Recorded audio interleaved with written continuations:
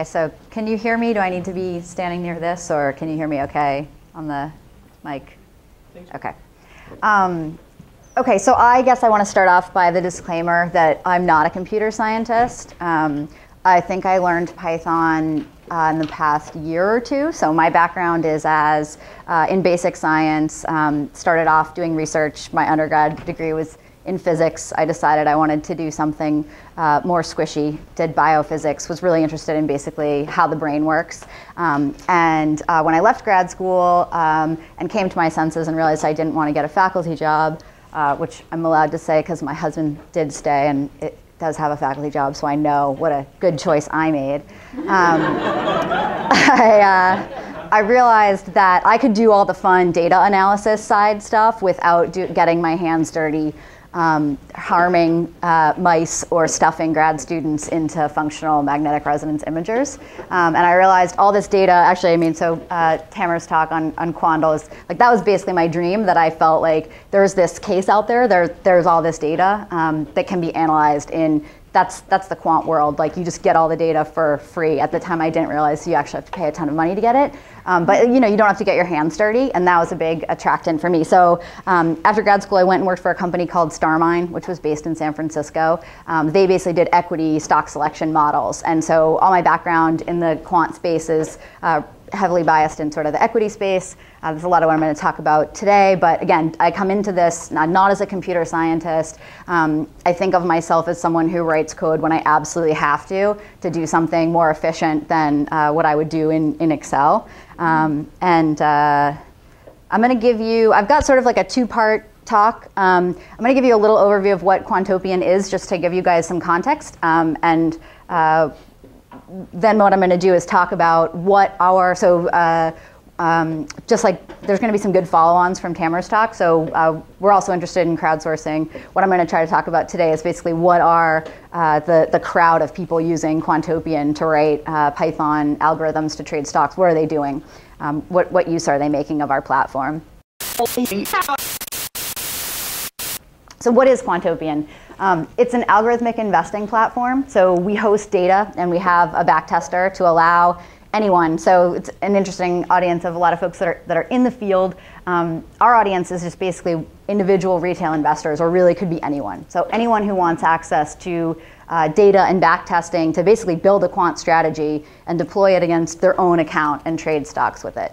Um, and for a lot of people who are in the industry, that sounds like a crazy and futile thing to even try to do. Um, I know I came from uh, most recently working at Thomson Reuters, to admit that, but um, coming from that background, I, uh, when I first talked to Quantopian, told them, you can't do this, there is nobody who fits that uh, Venn diagram of like wants to write Python, has money, wants to trade their own account, um, and there are like so. I was really proved wrong, and once they really proved me wrong, I was like, all right, now then I want to be on that team because that sounds way more fun than what we're already doing.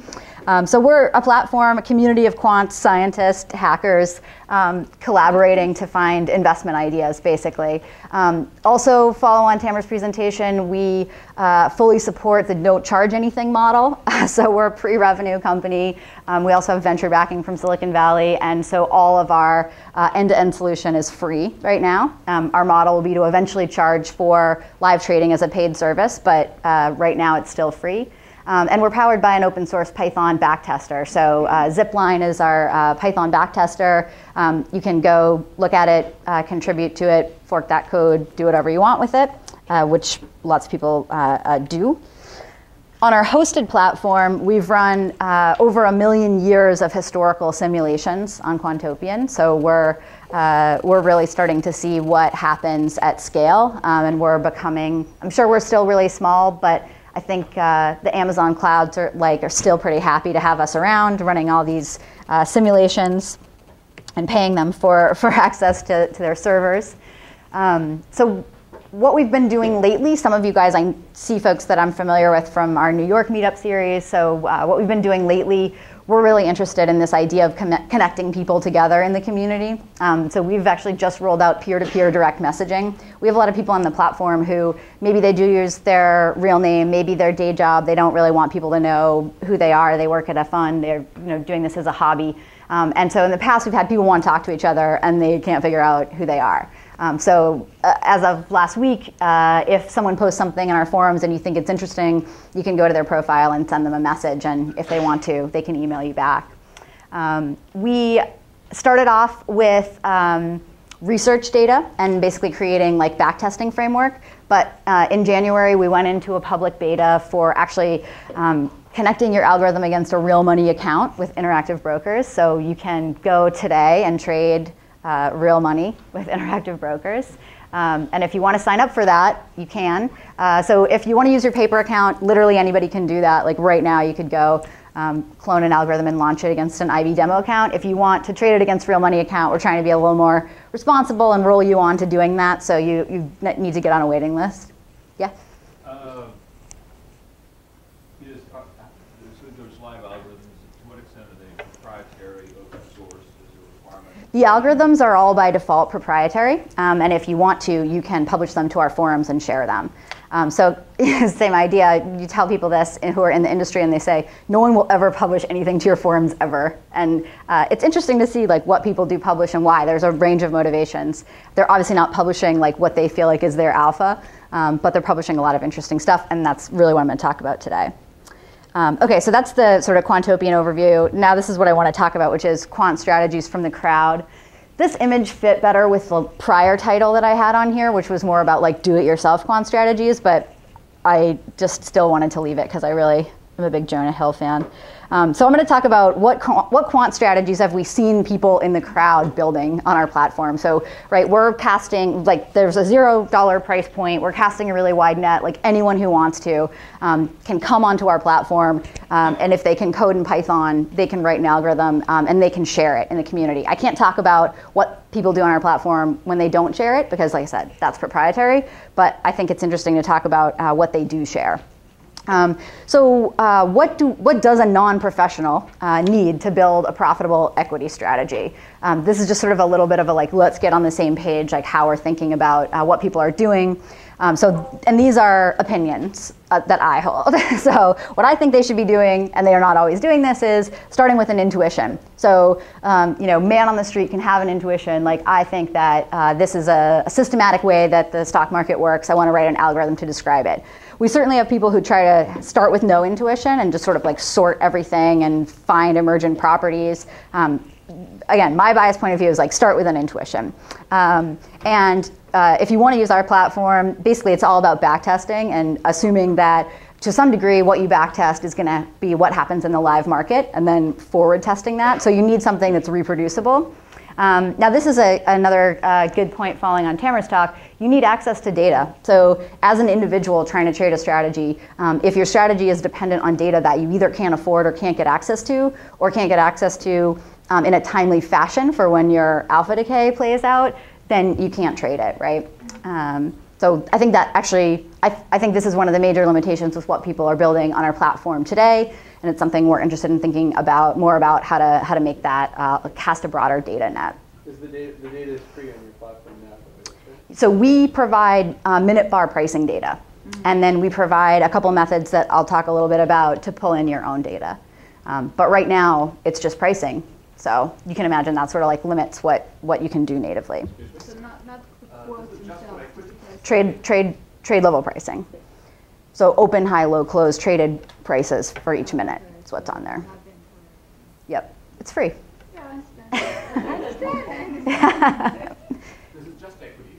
Just equities. So we're just. Uh, it's 2001, I think. Okay. Uh, and lastly, um, execution and capacity, right? So if you're an individual, you're not sitting on a trading desk, um, the types of strategies that will work for the amount of money that you want to put to work. And uh, you know, our platform is not a low latency platform. Um, our data, I'll show you our, um, our IDE and our uh, event handling method basically runs once per minute. So if you want to do a strategy, you're going to be able to place orders at most once per minute. They'll get sent to IB and they'll get executed within about a second, but you're not talking a low latency platform where it would be a great idea to try to do a scalping market making type of strategies. So that's on our education front. I'm just constantly trying to tell people like, don't worry about the latency because you're already you've already lost that game. If you want to play that latency game, go get a job at an HFT shop. Yeah, you've already lost that game. Go do something else or go work for an HFT shop. Um, I'm saying it's back Minutely. Yep. And what's the universe of stocks? Is it domestic US or global? It's just domestic US right now. It's like, yes, we, our database is something like six, 7,000 securities. Six, seven? ETFs, yep. Something like that. Yep.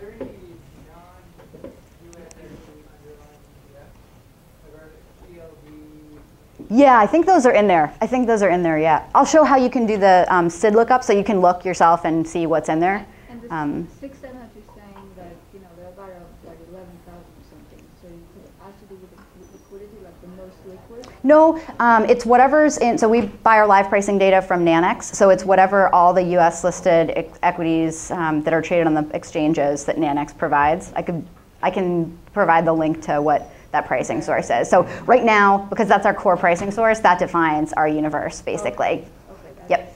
Yep. Yep. Um, question, uh, do you intend to add options, seventy percent options? And second one is, um, I mean, I guess, uh, sort of, how do you, if you're, if you're, if you're getting data on minute by minute bars, and somebody has a strategy to kind of backtest, how do you, is there a functionality to add market impact to it, or? is Yep. that something that- We have so uh, we have what I would call a pretty basic slippage model. We have got a couple, we've got a fixed slippage model and a volume share slippage model that we've implemented. It's all open source. So like sometimes people will come along and be like, "That's amazing! I can't believe you have anything," and other people are like, "That's totally JV. Like you should look at my slippage model." And what I say is like, "Great, write it and you know." Put it on GitHub and we'll pull it in. Fantastic. So it's pretty basic right now. Um, what I tell people to do if they want to really trade it with their IB account is use your IB demo account, and then you're going to see what um, IB's modeling is going to show you, and then trade it with a small amount of money, and then like you'll get that data like very quickly and see. Um, yeah. Okay. Oh, options. Um, we get asked a lot for FX options, um, futures. Um, I think that we would love to do all of those things and we would love to make it global. So we would love to do everything. Um, I think the way we'll prioritize it is going to be based on uh, two things which are not the same way of sorting the universe. So, what people are asking for and what we think they will make money doing. So, we specifically want to be really transparent with profitability statistics. And um, when I've looked uh, at retail level FX uh, and options and a lot of different stuff that people want to do, like they just basically it's like a casino. Um, and like we're not interested in being the house that wins on high churn. We're interested in like building a platform where people can really understand what they're doing um, and have access to profitable strategies. Which is not to say I think that that rules out options, um, but I think when we do it, we need to do it in a really thoughtful way um, and try to also bring that education bar up and try to be able to help people implement strategies that that you know are reasonable. Um, so I will be shocked if we get to it this year, honestly. Um, but it's possible. Second half of the year, options would come. I personally, I think options, equity options, would come before uh, like FX. I think for like the view we, we have.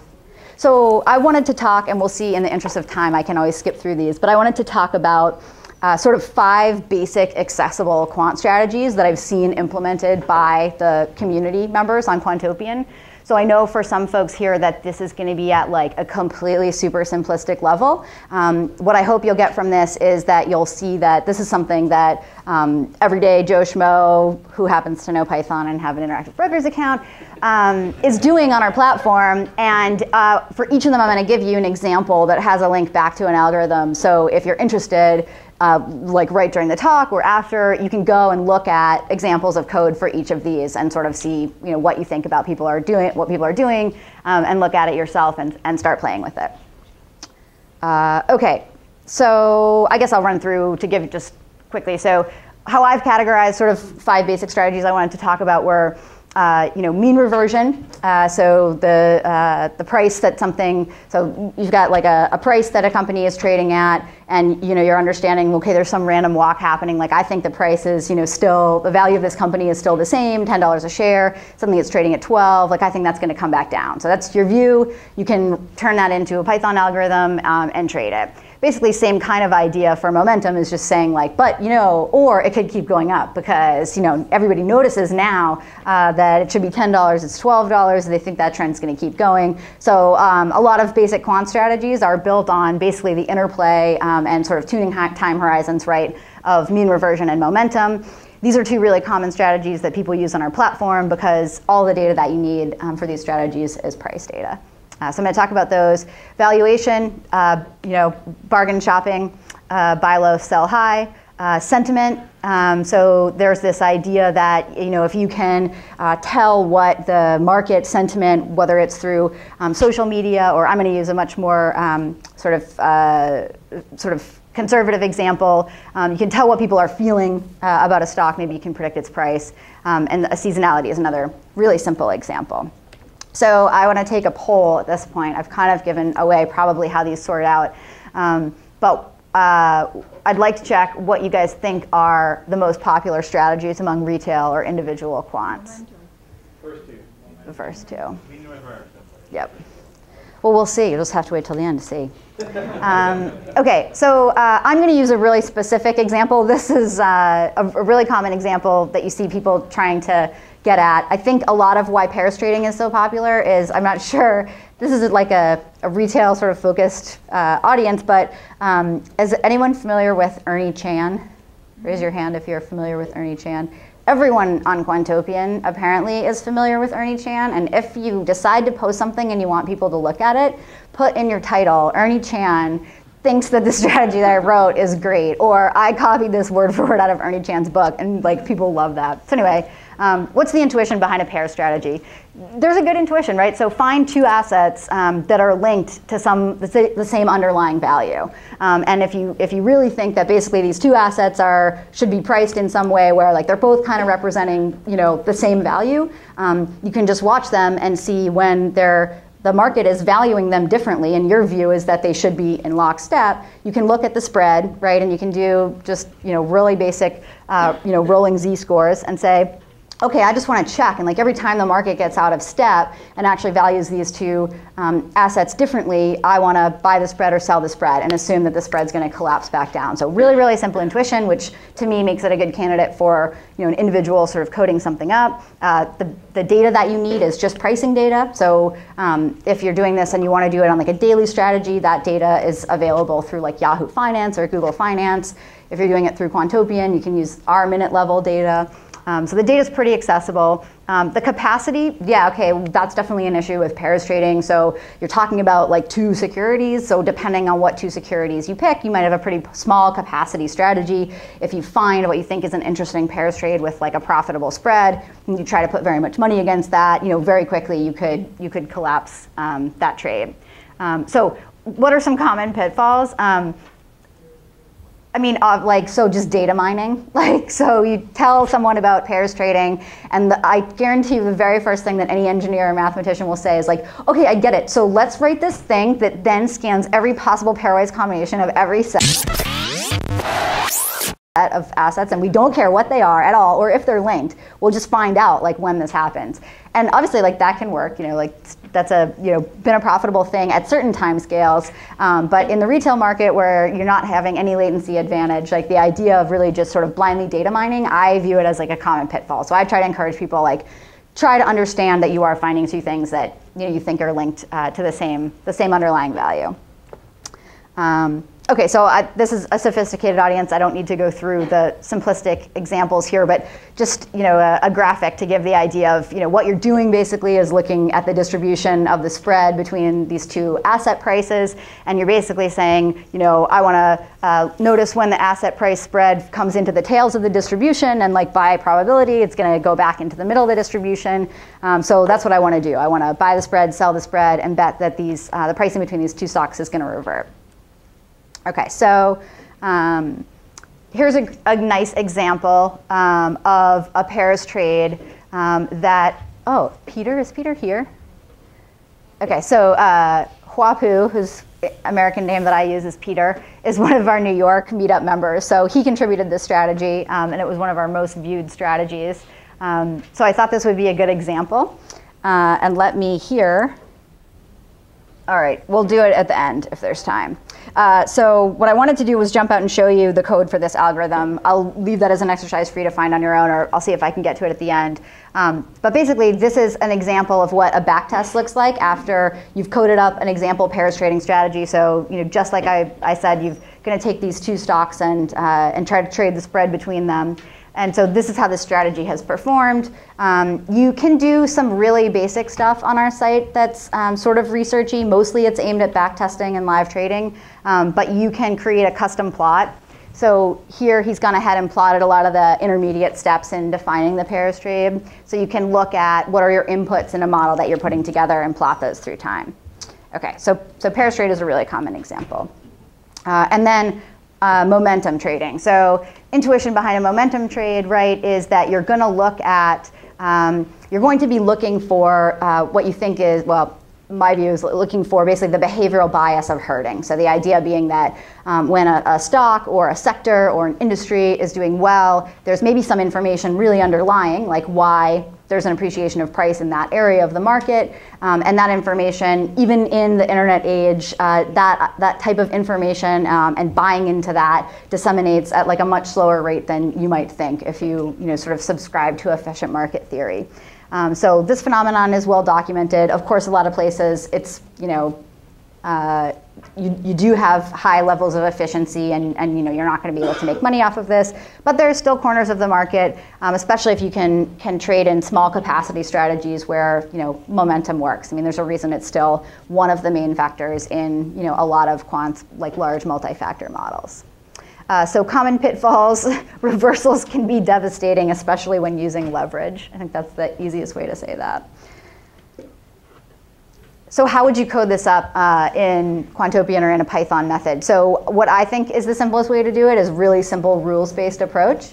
Um, so one thing that you can do is basically rank a universe of stocks based on the returns price change over some prior horizon and say, great, I want to buy uh, the stocks that have had the most price appreciation in the last week, month, what have you. Um, I know the research group that I used to work with, we did a lot of stuff with um, multiple time horizons. So we would look across, you know, how efficacious is various trailing windows of momentum, and we would create like a blended average of those. Um, and uh, there are some really, really simple examples of that that you can take a look at. Um, so here's one. So this is posted by another Quantopian member. Um, and he's actually looking at, so another popular uh, celebrity on our site is Meb Faber. So also if you decide not to pimp your strategy with Ernie Chan's name, Mebane Faber is another really good one to use. Yeah.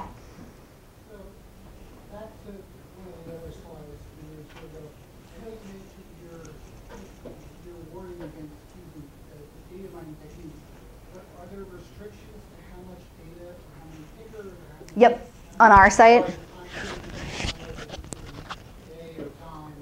So we actually don't let you download the data. So the part of the way that we're able to deliver this service for free is that our deal with our initial data vendor and the deal that I am shopping to lots of other data vendors is we're not a redistributor of data, we're a redisplay for data. So you can't actually download our data the way you can the data from Quandl. Um, but you can basically run your back test um, and then live trade. There are still restrictions. Um, given that you're running it on our servers. Um, those will probably change and um, will probably end up when we eventually have some sort of a paid model, we'll probably like allow you to pay for more server space. But right now, um, for bandwidth constraints, when we're running minute simulations, we limit you to selecting like a 100 SID universe or sorry, stock universe. Um, and if you're running, we have a daily simulation mode, which you can use to basically try to get either like a larger breadth of stocks, a couple thousand stocks, maybe one or 2,000, um, if you're running over um, aggregated daily data. So yeah, we throttle that, which is mainly to control like our hosting costs. Um, there's no like technical reason that we have to do that. We don't, we make it really hard for you to pull anything off of the site, which is basically to try to assuage the concerns of our data vendors. Um, I think that uh, it's a very reasonable request to ask to be able to download stuff like your transactions and positions tables and those kind of things. Right now, you really can't do that in um, any convenient way, but I think once we solve the like security concerns that like let you parse what's your content that you created from the vendor content, then like we'll make that easier. Okay. Um, okay, so uh, what I'll do, I'll see at the end if I can hop out and show some examples in code, if I can get some IT support. But also, I'm going to publish these slides and share them with you guys, so you'll have all the links to these example strategies. Um, you can go take a look at the code yourself. All right, so uh, valuation. Everyone loves a bargain. This is um, supposed to be Warren Buffett, I think, in this cartoon. Um, or they should lo- love a bargain. I guess the idea is that not everyone realizes and appropriately values a bargain, otherwise, this wouldn't work. Uh, but the idea is to basically use fundamental ratio analysis in a systematic way. So look at stocks that are trading at what you think are cheap multiples um, and try to find cheap stocks um, and buy them. Try to find expensive stocks and sell them. Perhaps exploit um, some differential sorting of, the, of that uh, using, using those metrics. So the problem with this type of strategy is that it requires good data coverage. So it requires data that we're not providing to our users um, out of the box right now. Uh, requires um, yeah, it requires understanding what you're doing. So um, it's easy to say, like, I'm going to look at PE, but if you actually want to be able to go and grab the PE or create the PE for a very, very large universe of stocks across multiple sectors, um, there's issues of normalizing that data. There's issues of knowing the fact that different companies report at different times and aligning um, that the PE you're looking at and comparing two stocks on is actually for the same calendarized time period. Lots of headaches of data um, manipulation and overhead there. So this is a little bit harder um, capacity, you're going to want to buy uh, lots of risky small cap stocks, which will look great until you get totally screwed. Um, and uh, some, and, and, my favorite also, yeah, some cheap stocks are cheap for a reason. Um, that one I really thought of when um, my friend was explaining to me that he reversed his Bitcoin arbitrage. And as on Mount Gox, the price of Bitcoin started to go through the floor, they realized like this is the best deal on Bitcoins we're ever gonna get. And they just like kept buying more and more and more Bitcoins right until the exchange froze. So that's not really an equity example, but there's the catch a falling knife added. Some stocks are cheap for a reason. Um, so how would you implement this? Um, it's reasonably straightforward if you decide to grab data from uh, Quandl, for example, and, and uh, this ex- the example I'm going to show you does that. Um, so inside of Quantopian, we've got a method called Fetcher, which basically lets you grab CSV data from anywhere on the internet, so HTTP, HTTPS. Um, if you either create a CSV file of your own data and post it to like a public Dropbox folder, um, you can grab that. You can grab data straight from Quandl. So when Tammer showed the little like drop down, grab this data to Excel, they also have an awesome generate the API call for this data. Uh, and we've built a method that basically is wrapped around that, and they've been nice enough to share with us um, like a large authentication key so that users that want to basically directly plug Quandl data into our backtester can do that. We'd love to like keep making that easier and easier. Um, so anyway, you need to get that data. What, if, you've, if you've got the situation now where you've got you know, a comparable PE value across some universe of stocks, then you're now you you know most of the battle is won. You're going to rank that universe of stocks based on the PE, and you're going to decide that you want to buy or sell one one side of that distribution. Um, in practice, you know, uh, quant models, uh, you know, hedge funds or institutional shops are going to do really complicated versions of this where they're looking at lots of different backward-looking ratios. They're also going to look at forward-looking estimates ratios, which that data is even more difficult to get a hold of and align properly. Um, and they're going to make lots of uh, sector-specific adjustments and add other bells and whistles. But at a simple level, if you have you know, a couple of fundamental ratios, you can sort a universe of stocks um, and surface some interesting ideas in a systematic way a lot faster than you would be able to do, you know, one at a time uh, researching them. So this example, um, I hesitate to point you to because I just checked and I think we need to update our Quandl link. Um, but there's a great example that I'll make sure gets updated, and if I can show the code, we'll see if that'll work. Uh, you can grab like basically all the fundamental ratios from Quandl um, and pull them into Quantopian, and this is a really simple algorithm that uses like one ratio um, and sorts a very small universe of stocks, which is why it looks so awesome near the end here. It's just a couple of stocks. Um, so, so valuation is something that I think if we made the data easier to get at, we'd see a lot more of. But you are seeing people do this. Um, okay, so sentiment. The example that I want to use for sentiment is one that I worked on a lot in um, my past life as a researcher. So, um, short sellers. Uh, the intuition of trying to look at um, shorted stocks as a sentiment indicator is basically that shorting stocks is hard and expensive and risky, and not everybody is willing to do it. And the people who are willing to do it uh, better know what they're doing, or they're not going to be around to do it tomorrow. Um, so we think of it as like the smart money, basically. Um, looking and seeing how much short interest or how many shares are short in publicly traded stocks is publicly available data. Um, you can find it, for example, on NASDAQ has a list of um, the short interest levels of all the stocks listed on their exchange. Um, so the example that I'm going to show, um, I think I scraped the NASDAQ site and grabbed like a, a, static historical or a static snapshot of short interest across a universe of securities. Um, so this phenomenon is also, you know, documented in the in the literature. It's not like a revelation. Um, one of the constraints about the data that's available, so I said like you can find it, you can scrape it on NASDAQ, um, but it's not perfect. Um, the requirement is that the, this data is made available um, bi-monthly, so every two weeks. Um, the exchanges have to report the short interest level across all of the stocks that, they, that are listed on their exchange.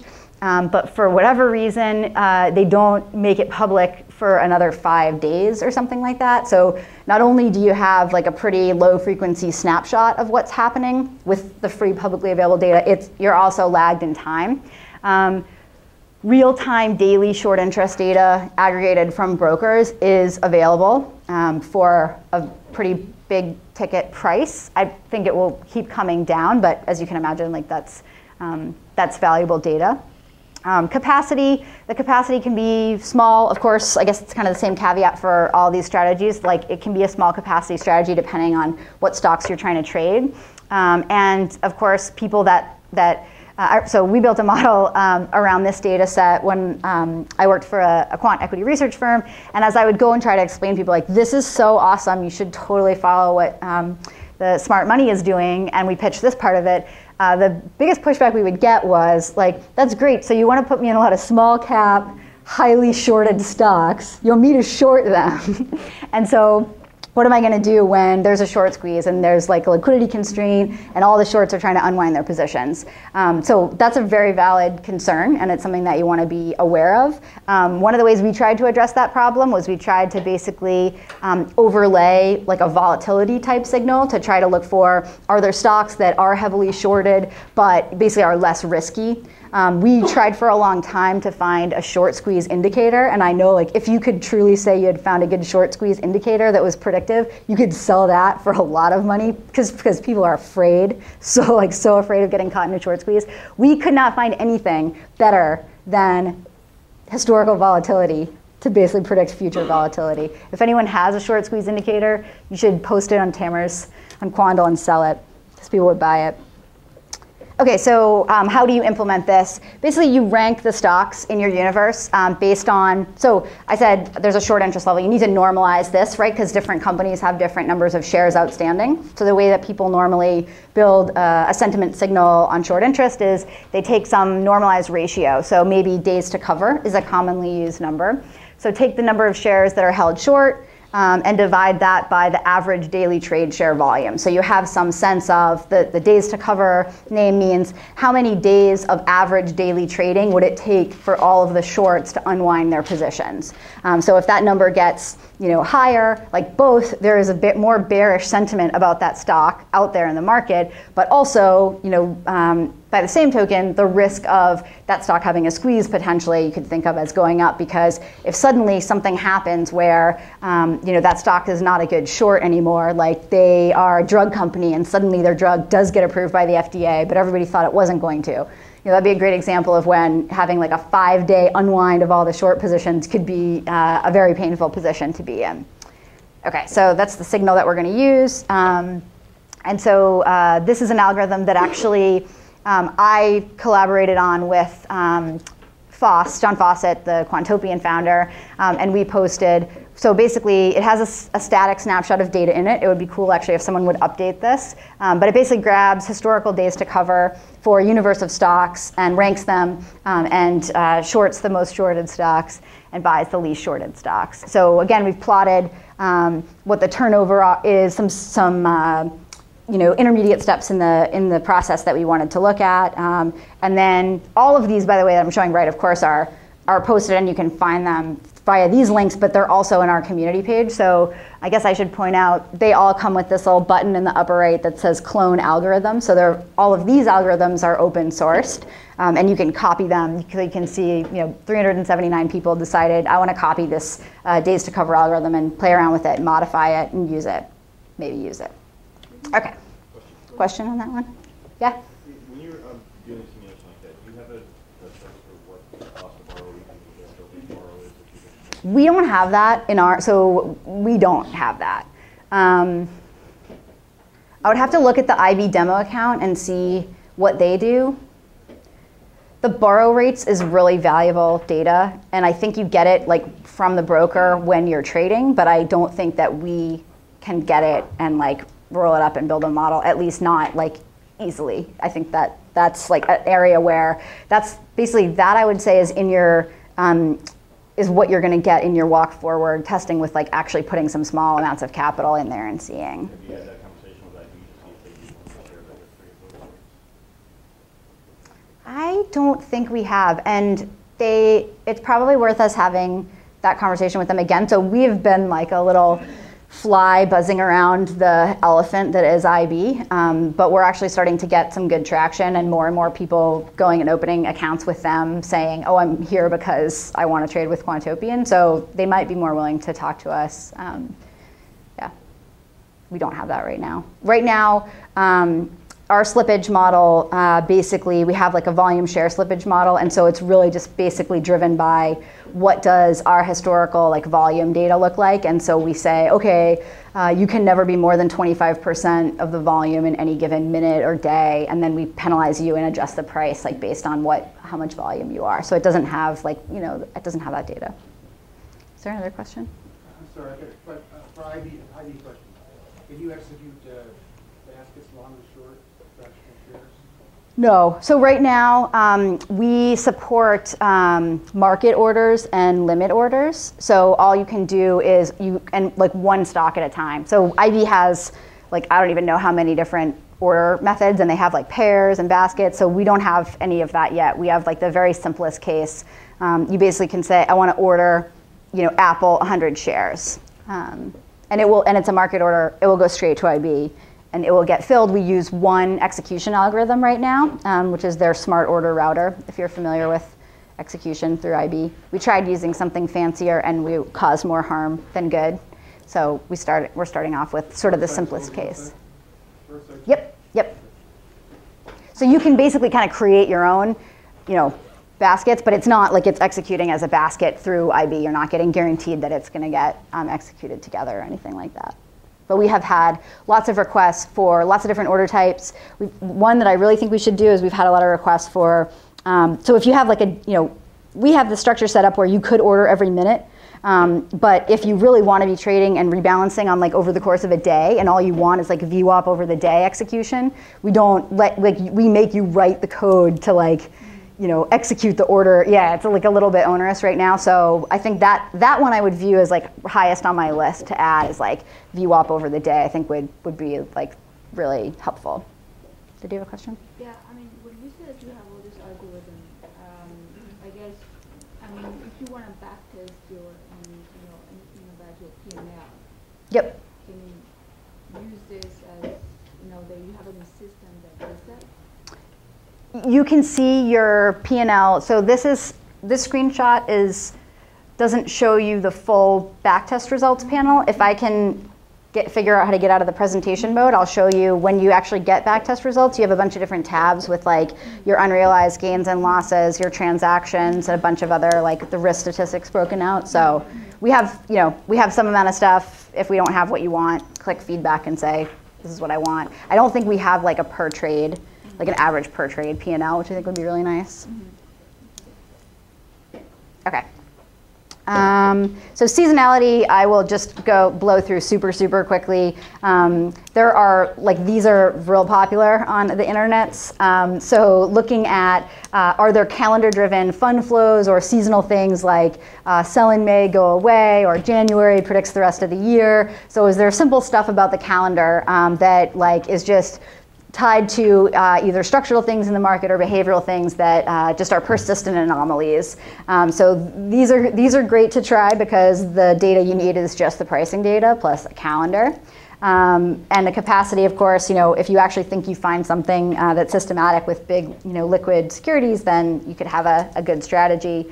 Um, the simplest example would be uh, just basically trying to, to use seasonality and time the market. Um, I like this one just because I think it's a, like people will ask me, like I would like to try playing around with um, algorithms on Quantopian, but I don't know how to get started. Maybe I know Python, maybe I don't. And this is like the simplest possible example that I think you can start with. Um, so this is an algo that I put up that just says, I think it was me, I don't know. Yeah, it is. Um, it just says uh, sell in May and go to bonds. And when you get to October, buy back into the stock market. And what's fun is it's like the simplest possible case type of thing, um, but you can get a feel of um, basically how you can write some simple systematic rules and look at performance through time. And people liked this one. Um, okay, so we reviewed those five basic strategies, and I said I would show you um, what has been popular. So um, this is sort of the first slice of the type of analysis that I think is going to become really cool for us to do and then share, which is um, now that we've gotten you know 17,000 quants, quasi-quants, scientists, hackers, aspirational uh, people in the field together, uh, we can start looking in aggregate at what they're interested in, what they're doing. Uh, we, are not looking at the proprietary algorithms that they write, um, but once they're actually really doing lots of live trading, we'll be able to know in aggregate also how they're doing. So this is the first slice, or first sort of view that I, I thought of taking on that, which is I basically just ran a query looking at every post that had ever been posted to Quantopian's forums, um, and I ranked it. I ranked those posts three different ways. So, um, how many times was there, or how many replies did the post generate? So, what were there things that generated a lot of conversation on the conversation threads? Um, how many views did they get?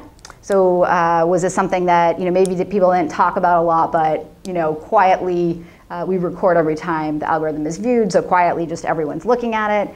Um, and then I looked at how many times was it cloned, or how many times did someone come to the site, find, you know, my finds Ernie Chan's, you know, implementation of a pairs trading strategy and say, yeah, I want to copy that code into my own account. So I ranked the universe uh, three different ways, and then just created a simple combo rank um, and thought it was cool to look at what were the top 25 most shared algorithms of all time. And so from these, I called that sort of set of five kind of classic strategy types, um, which are the ones I called are highlighted here, and then I added the valuation one. Um, so I think this one really, if someone can explain this to me, so the um, there was a paper that was published by, I think, this guy, Tony Cooper, looking at uh, using Google search terms to predict market movements. And that's like been a pretty runaway success on our forums, even though if you go and look at the thread, like the thread is basically all about how it doesn't work and it's overfitted to like just a debt keyword at a certain specific historical time and like doesn't seem to have so I really don't know why this has so much staying power. Like it goes away and then like someone will find it and surface a link to it or like tweet about it or do something and like everybody's back. I think basically just people really wish that Google search terms predicted market movements and this is like a, a view of that. I don't know. Um, but a lot of the other stuff in this top 25 list I think really is uh, pretty interesting content that surfaced. Um, yeah.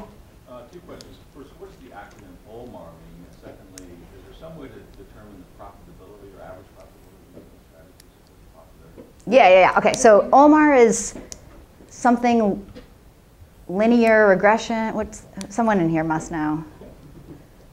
Okay, so it's like some like certain type of, of linear regression strategy. I forget what it exactly stands for. Google about 20 minutes ago online moving average reversal. Online moving average reversal. That sounds right. So it's like an updating an updating mean reversion kind of thing, I think. People also love when you post stuff that has like long, complicated acronym sounding things, um, or like just really hard math terms. Like they, I don't know, that is extremely popular, as opposed to just some simple like, this thing makes money, and then I feel like nobody clicks on it. But if you're like, you don't know what these letters mean together, people are like, that is probably gold. I want to look at that one. I think that's my interpretation. Was there another question? Oh, oh, yeah, your second part of your question.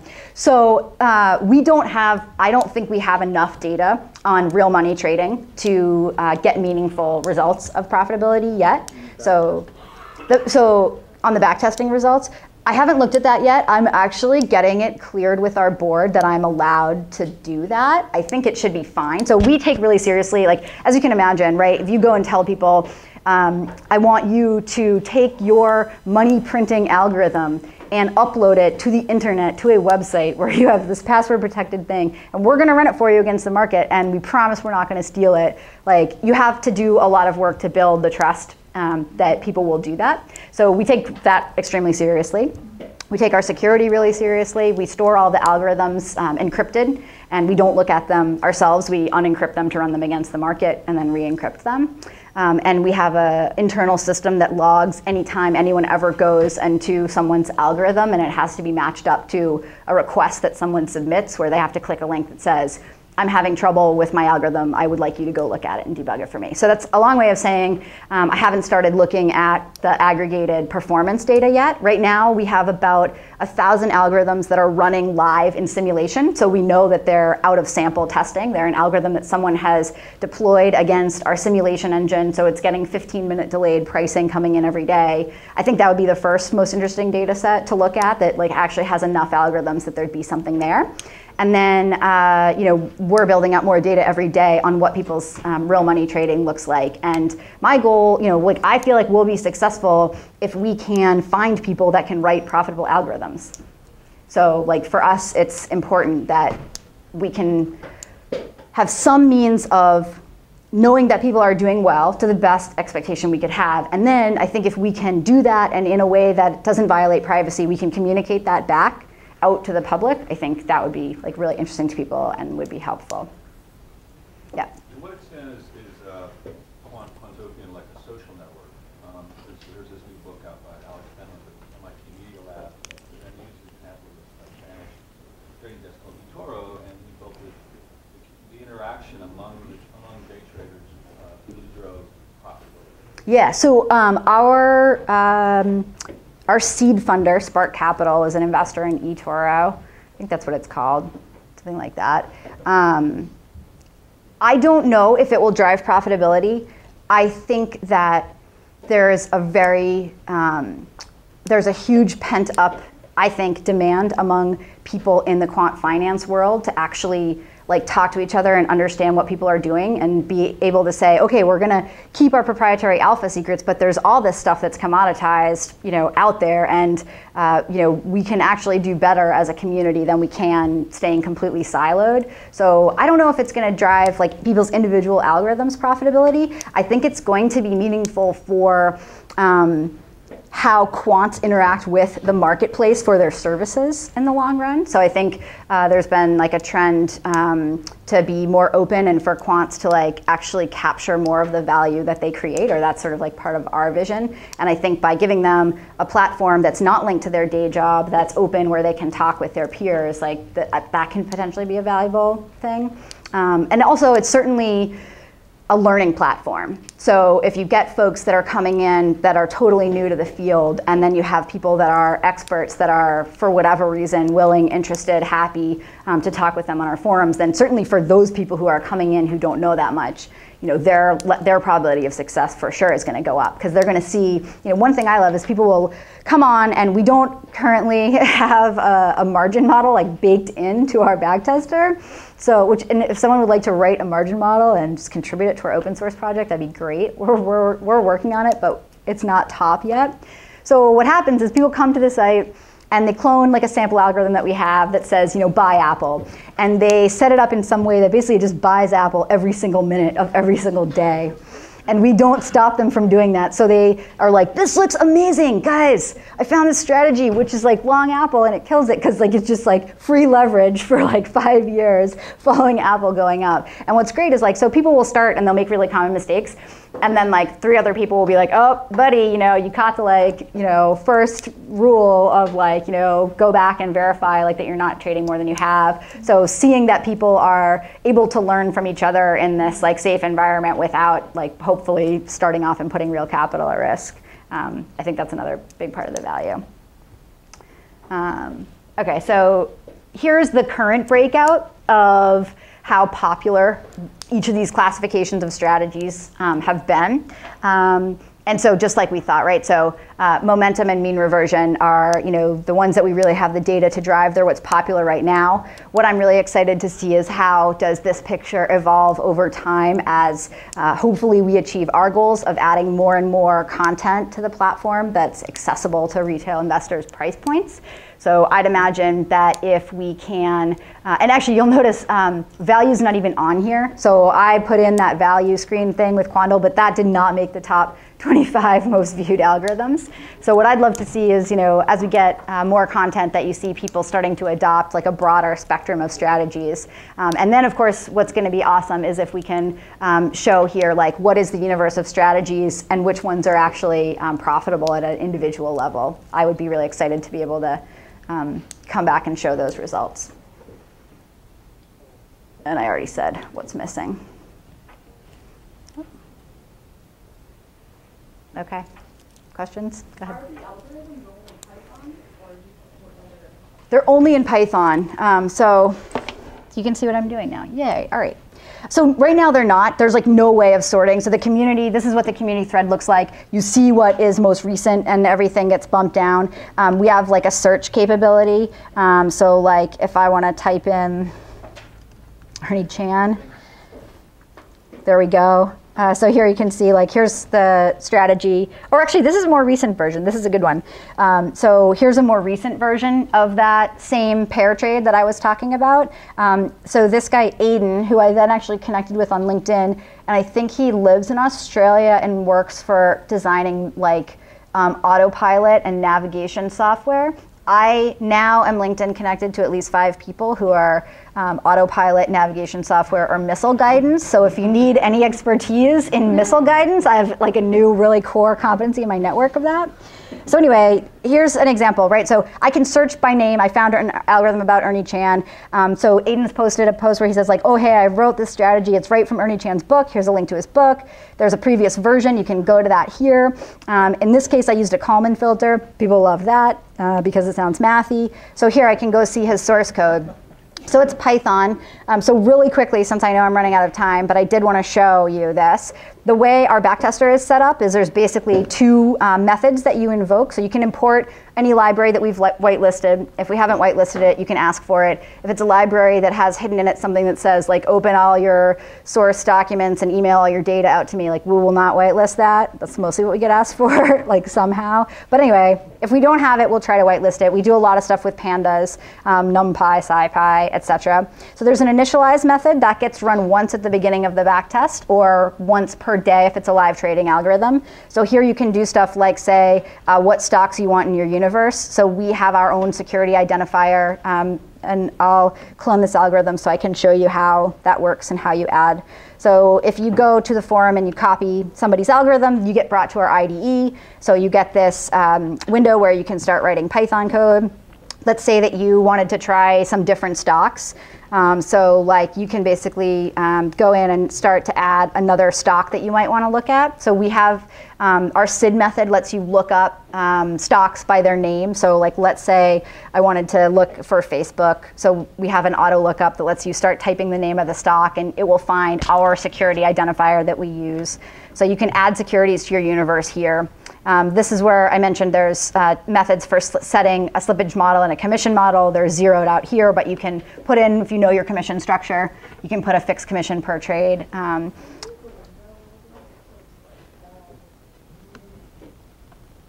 is that better? There you go.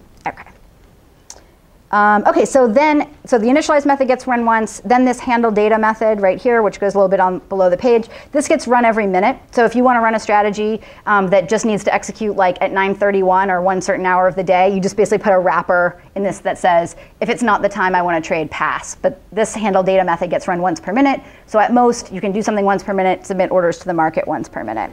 Um, so this is basically what you have access to. Um, the only UI settings are over here. So you decide, like, I want to run a back test from what date to what date. What's my initial capital base going to be? Do I want to run this as a minute simulation or do I want to use the daily back of the envelope simulation? Um, and then uh, you can uh, run a build on that. Oh, and I did it for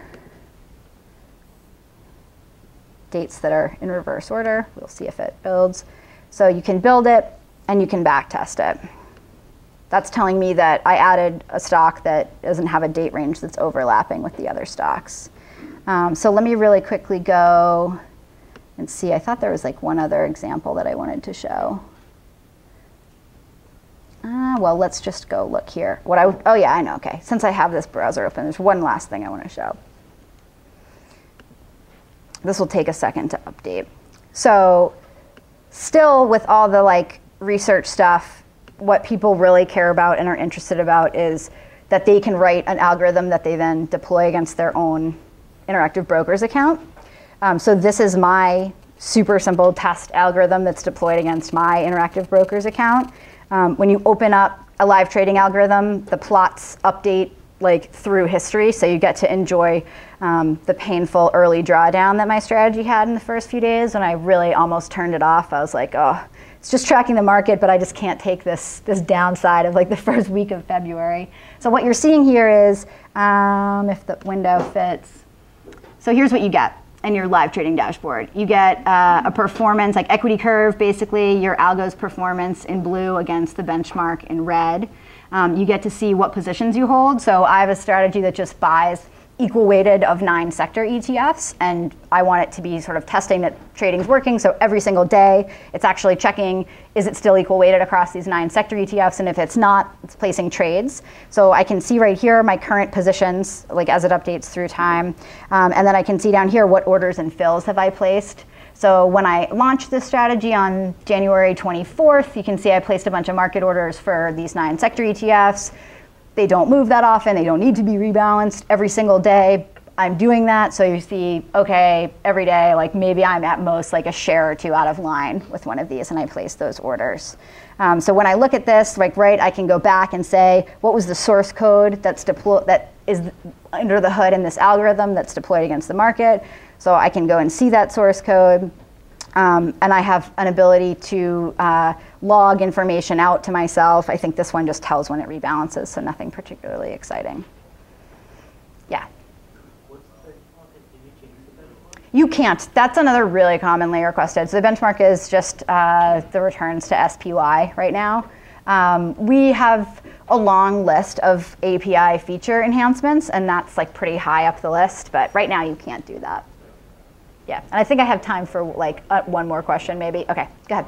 Do you keep um, a history of the constituents of any of the indices that I could say in my I want it to be whatever's in the S&P 500? We don't right now, and that's like a data licensing thing. So right now, the only way that we let you um, select a broad swath of stocks in like an unbiased way, we have um, a daily dollar volume universe that we compute.